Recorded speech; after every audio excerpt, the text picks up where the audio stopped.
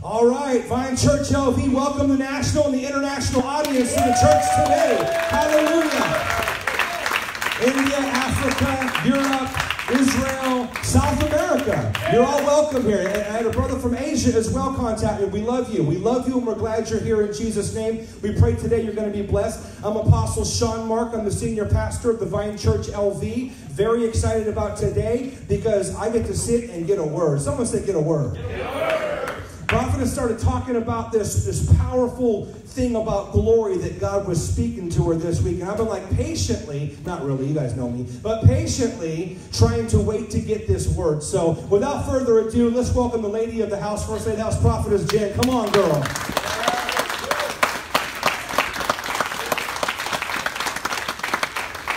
Let's give glory where glory is due. Let's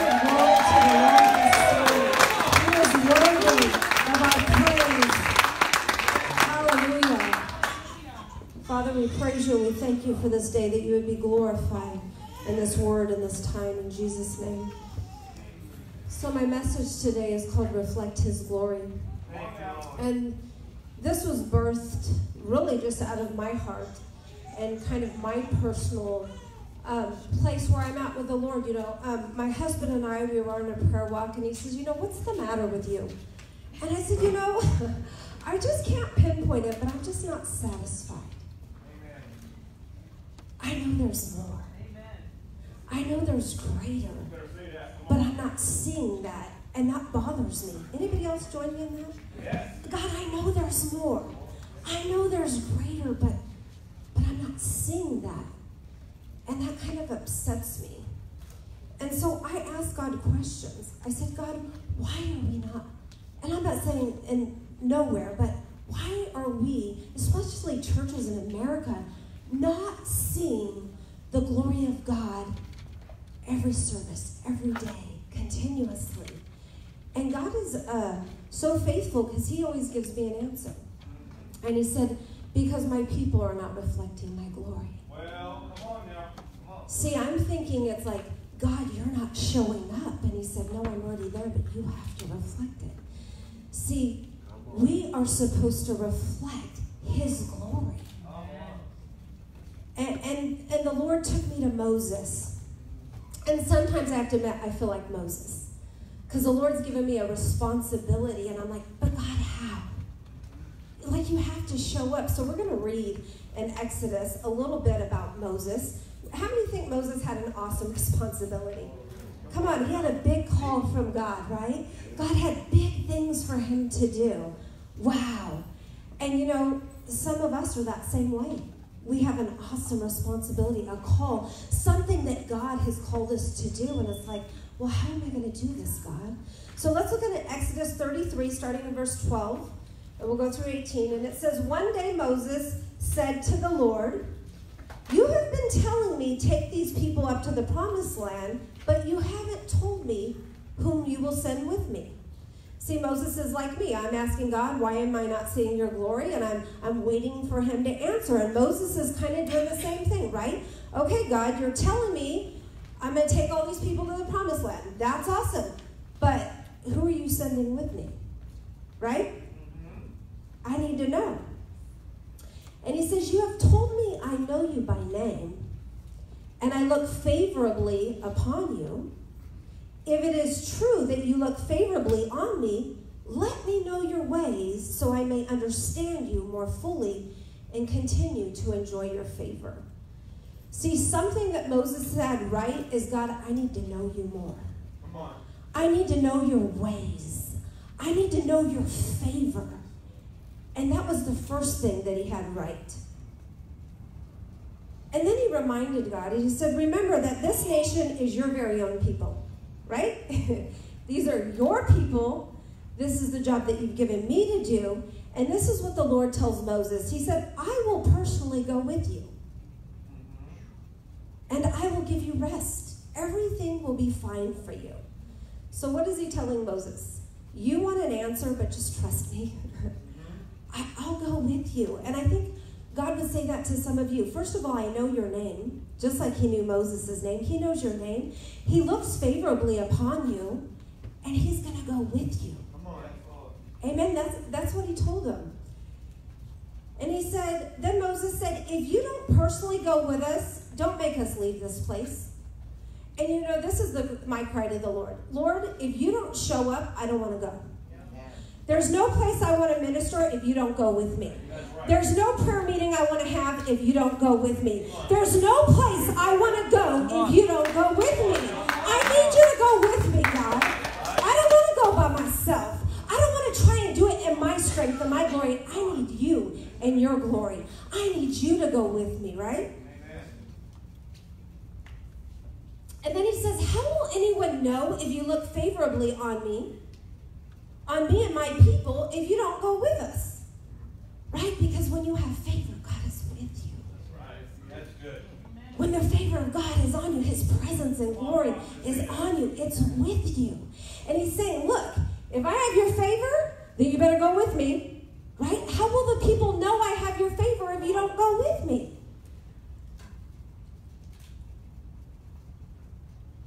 He says, For your presence among us sets your people and me apart from all other people on the earth. Come on now, say that. Are you set apart? What sets you apart from the world? His presence in you. Come on now. That's what makes this difference. So if I don't have his presence, I'm just like everybody else, right? Right. And he's saying, God, I need the people to see that we're of you, that we're set apart. And the only way they're going to know that is because your presence is with us. That's right. Come on. And the Lord replied to Moses, I do this with God sometimes. We have our bathroom force. Like he talks and then I I remind him of things and then he tells me things and I ask him questions and it's okay to talk to God. Come on, say that.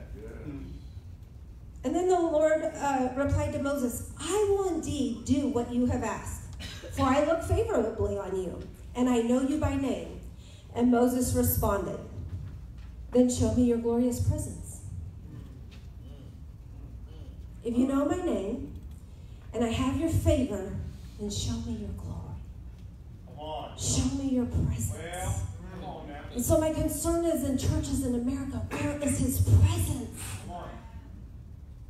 Why are we going through the motions, but there's no presence? There's no glory. It looks just like everything else. And I've told God that. If you know me by name, and I've gotten prophetic words that the favor of the Lord is on you, then show me your glory. But first, let me know your ways. God says, Seek me, and you shall find me. Part of this journey is knowing Him and His ways. And then I tell the Lord this. I told the Lord before I came up here this morning, if you don't go with me, I don't want to go. Come on. We got to get to the place where we say, God, you have to go with me. I need your presence. I need the people to see that I have the favor and that I'm set apart from them. That's good. You set me apart by your presence. Moses understood this that the reason that he was set apart and different is because the presence of God was with him and on him. And I like Moses. He was bold. Okay, you know my name. Mm-hmm. You say I favor, show me your glory. Right? And what did God do? He showed up. And he showed off. Didn't he? And the people knew that Moses belonged to God. Didn't they? So let's go to Exodus 34 10. Replied, Listen, I'm making a covenant with you in the presence of all your people. This is God talking to who? Moses. And he says, I will perform miracles that have never been performed, performed anywhere in all the earth or in any nation. How many people think that's pretty amazing? And all the people around you will see the power of the Lord, the awesome power I will display for you. And I began to ask that God, why are we not seeing miracles? We see them, but come on, there's a greater level.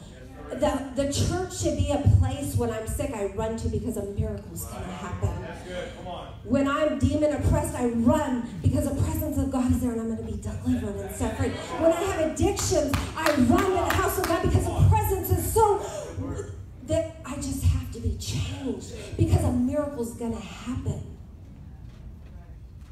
But I don't see people running to churches and flocks. Why? They're like, oh, that's just like any other place. They're not seeing the manifest presence and the miracles of God. Come on. And the Lord told him, I'll do it. But who did he use to do it?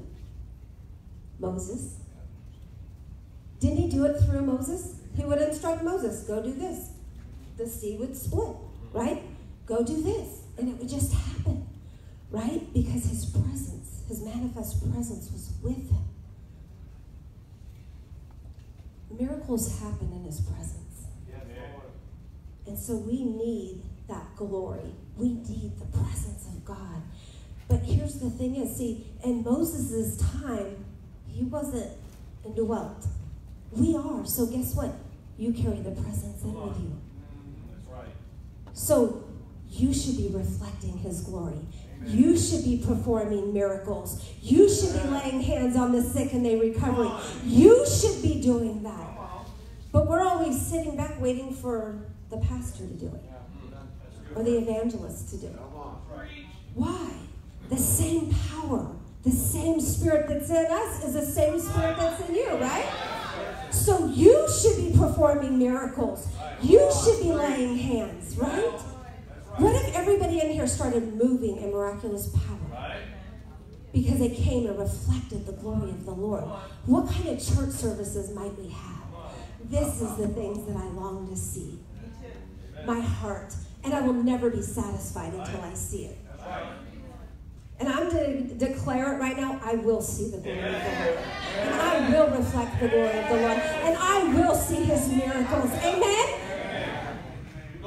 On, we're going to see it. We're going to do big things here in Vegas. People are going to run to the Vine Church LV because they need to be in the presence of God.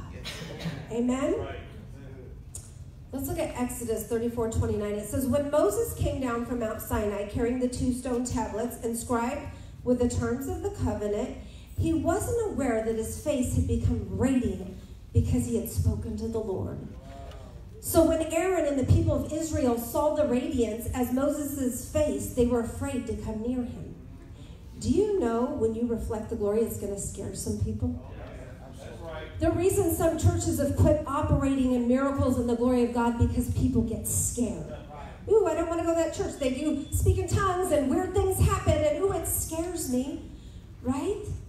But see, when Moses was in the presence of God, he couldn't help but reflect and radiate his glory. Right? Are we any different? We're indwelled when we, we're in his presence, we should come out and radiate. People should be able to look at us and say, Wow, you're radiating. Wow, I see the glory of God on you. Wow, his presence is on you. That's where we should be. Amen. Moses reflected God's glory. And when you spend time in his presence, you should reflect his glory too. But the glory does scare people. It does. But let me tell you, they can be scared until they have a diagnosis.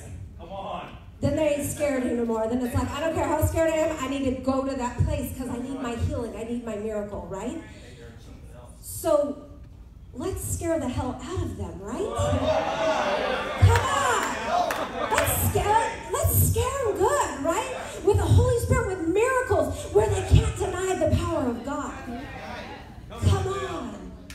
I dream of the day. Let that be us, Lord. Let that be the Vine Church LV, a house of miracles, a house of the presence of God. Father, where your manifested presence is among us, God. Come on, let me reflect your glory. I pray your people would reflect your glory. Stephen was a man that reflected God's glory. The Bible says he was a man full of God's grace and power, and he performed amazing miracles. Amazing miracles. But guess what? The naysayers came out. Yep. What they do? They started arguing with him. They started lying on him, right? Saying he was speaking against Moses and he was doing all these things, right? See, when you carry the glory, you're going to have haters.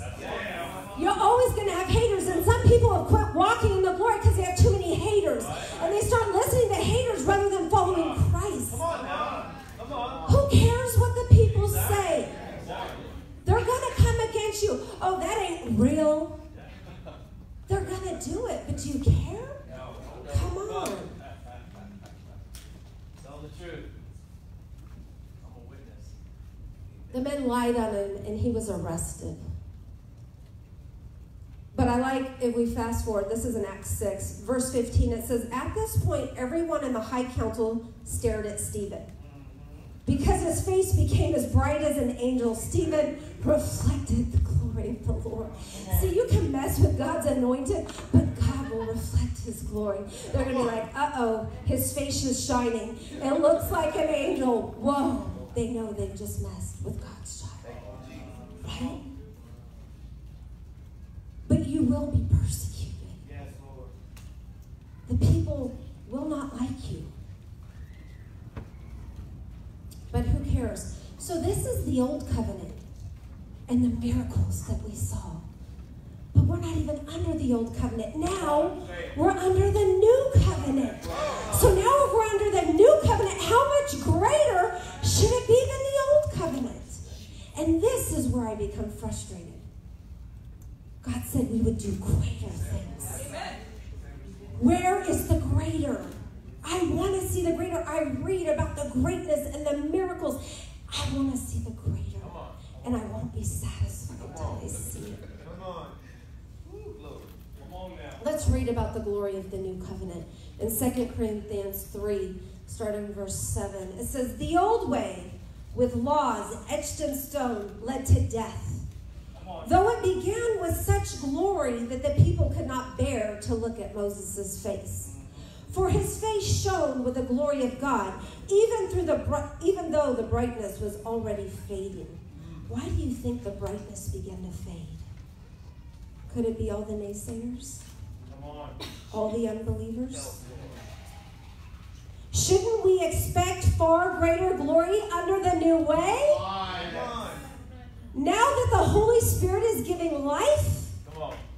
If the old way, which brings condemnation, was glorious, how much more is the new way, which makes us right with God? Come on. In fact, that first glory was not glorious at all compared to the overwhelming glory of the new way. So if the old way, which has been replaced, was glorious, how much more glorious is the new way? Come on. Do you get the theme? What are we repeating? How much more glorious, right? Is the new way. Um, glorious. How much more glorious is the new way which remains forever? Since the new way gives us confidence, we can be very bold. Yeah. Come on. Yes. I don't see people in church being bold. We need to be bold. We have a confidence. We are not like Moses, who put a veil over his face so people of Israel would not see the glory, even though it was destined to fade away. But the people's minds were hardened. Why did the glory go away? Their minds were hardened. I believe the reason we're not seeing the glory in church because people's minds are hardened. And to this day, whenever the old covenant is being read, the same veil covers their minds so they cannot understand the truth. So the minute you start talking about the power and the glory and the miracles, it doesn't make sense. They can't understand it, they can't fathom it. And this veil can be removed by believing in Christ. Yes, even today, when they read Moses' writing, their hearts are covered with a veil and they do not understand. But whenever someone turns to the Lord, the veil is taken away. For the Lord is spirit, and wherever the spirit of the Lord is, there is freedom. Freedom to be in his glory, freedom to be in his presence, freedom to walk in the miracles and the giftings of God that he's placed on your life. Hallelujah. Come on now. So, all of us, everybody say, all of us, All of us. who have had the veil removed, how many people have had the veil removed in here?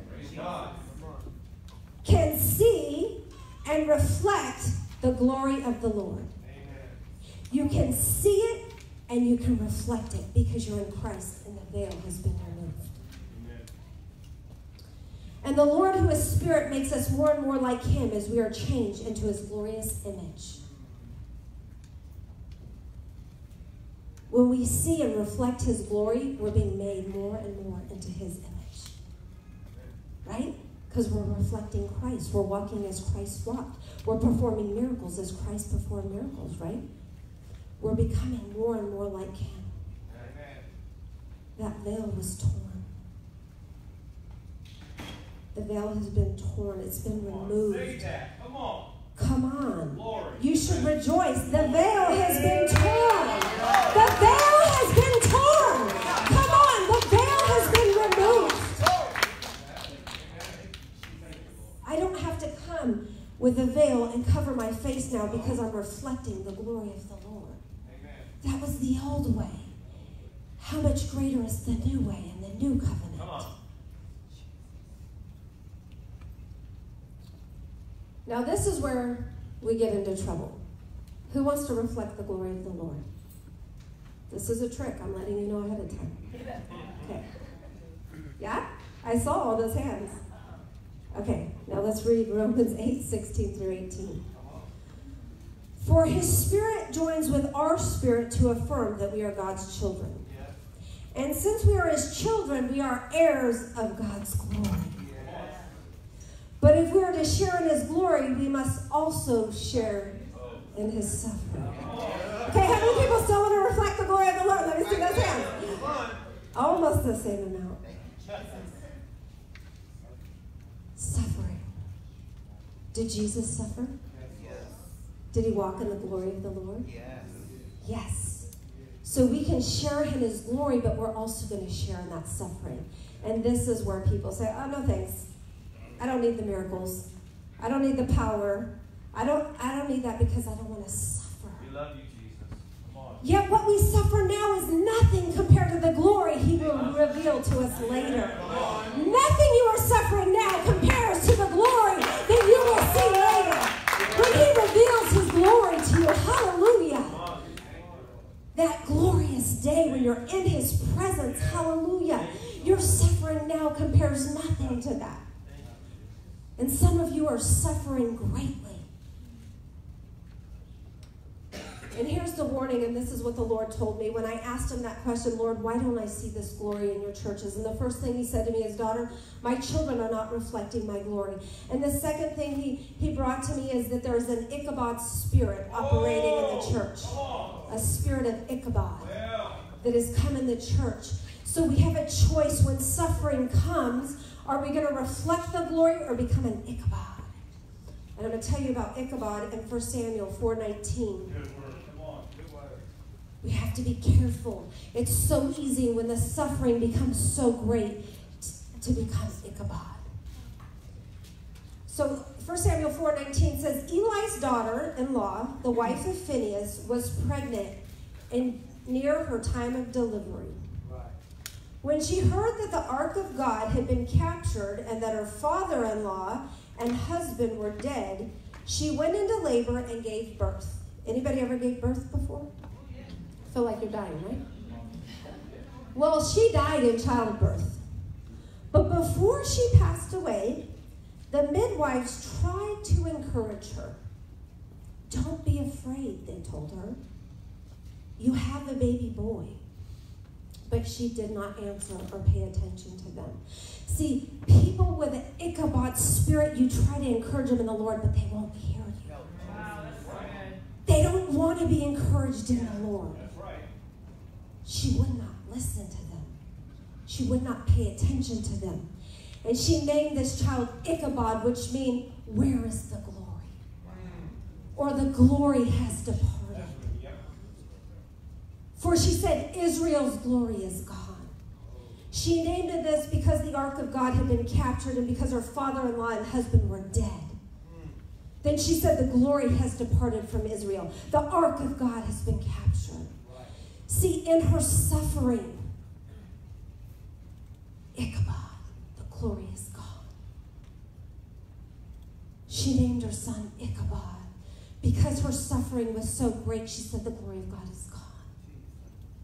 And how many of us, when the suffering comes and it becomes too great, we give up on the glory of God? And we just believe the lie of the enemy. We're not going to make it, it's never going to get better. We take the glory out. And we have churches and we have ministers and we have ministries full of the Ichabod spirit. Well, And where the Ichabod spirit is, they have already decided and agreed that there's no glory. So why would the glory of the Lord come if you've already agreed that there is no glory? right, come on. Where the spirit of Ichabod is, there will be no power and miracles. That's right. That's right. Come on. What are you suffering? In your suffering, you can still reflect the glory of the Lord. You don't have to give up and say there's no more glory. You don't have to adopt an Ichabod spirit. And there's Ichabods in this church. You do nothing but grumble and complain in your suffering. You tell the whole world about it. You go on social media and you grumble and you complain about how horrible your suffering is. And then you expect God to show up in His glory? No. Come on. Come on, prophet. What if you went to his presence like Moses did and say, God, and let God give you the answer, and let God change the situation, and let God's glory shine? Death is an opportunity for God's glory to show up. Let's look at Lazarus. He was dead, the situation was dead. And she, his sister is crying. Jesus, if you would have shown up four days earlier, he wouldn't have died. And she's mourning and she's crying. And it said when Jesus showed up, he was angry. I get angry at dead situations where the Ichabods are and they, they won't receive encouragement. And they just de- decide it's done. There's no glory. I'm angry. And Jesus, it said he was angry, but you know he was angry not to sin, right? Come on. It says, But Martha, the dead man's sister, protested, Lord, he's been dead for four days. The smell is terrible. Some of you in your suffering, the smell has become terrible. It's terrible. And Jesus responded to Martha, Didn't I tell you that you would see God's glory if you believe? Do you believe that you will see his glory? Yeah. Come on. They didn't believe it. They believed it. It was too far gone. He was already smelly. It was dead. There was no hope. They had all accepted Ichabod. Come on. Tell it. So they rolled the stone aside. Then Jesus looked up to heaven and said, Father, thank you for hearing me. You always hear me. But I said it out loud for the sake of these people standing here. So they would believe you sent me. He wanted to give God glory. See, he already heard from heaven. He already knew what God was going to do, but he had to proclaim it to the people so that God would be glorified. When he said, Lazarus, come out, Lord. And God was glorified in that moment. What is dead in your life? What is suffering? Have you allowed Ichabod to come in? Or will you be a Stephen? Will you be like Moses? Will you be like the great men and prophets of God and reflect his? All the prophets suffered. The apostles suffered. Guess what? If you have a great call in your life, to suffer. But it's all for his glory.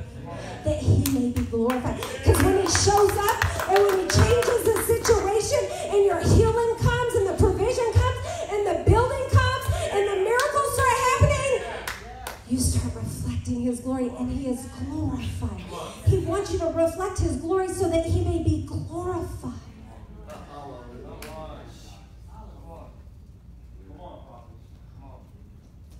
And, and the Lord has been confirming my message so much to me this week. And I love confirmation because it lets me know that I really hear from the Lord. Amen? And so, um, somebody that no longer goes to our church um, had donated clothes for our homeless outreach for us. Um, but I've learned in the past that it's wise to look through bags because oftentimes, in this case, there were some things that needed to be tossed out that you wouldn't want to pass on. So um, as I opened the bag, this was the first thing I pulled out was this blue T-shirt. The very first thing out of three or four bags of clothing that I pulled out. And when I opened it, this is what it says.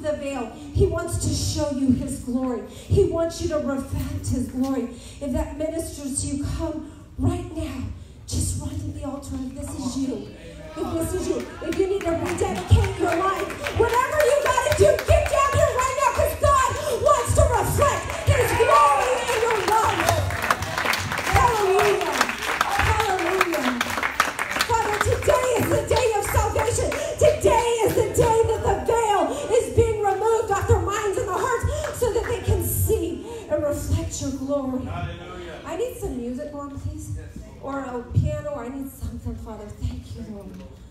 Hallelujah, Jesus. Thank you, Lord. Thank you, Lord. Thank you, Jesus. Father.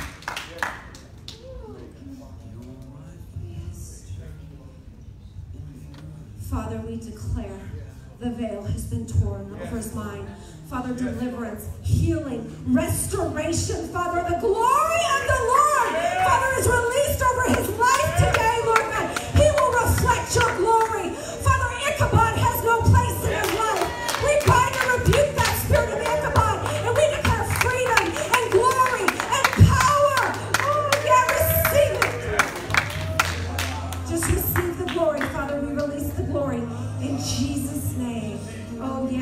Deliverance, Father. We take authority over every enemy of the Lord Jesus Christ over his mind. And in the name of Jesus, we declare the glory of the Lord. And whom the Son set free is free indeed. Hallelujah. Father, we declare the veil is removed. Father, in the name of Jesus, we take authority over every enemy, every Ichabod, every spirit contrary. And we declare the salvation of God and the glory in Jesus' name. In Jesus'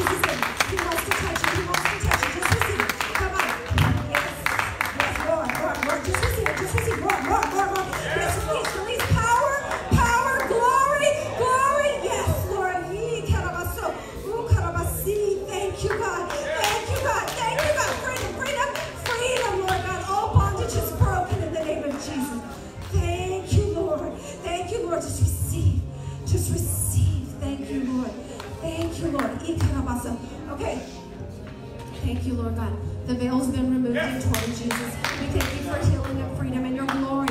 Your glory, Father, be revealed in her. She will reflect the glory of the Lord in Jesus' name. Oh, yeah, yeah, yeah. We're going to fill this altar. Okay, here's the next thing. You have the spirit of Ichabod. You've given up. You said, God, there's no way. It's impossible. The glory's departed. If you have the spirit of Ichabod, get delivered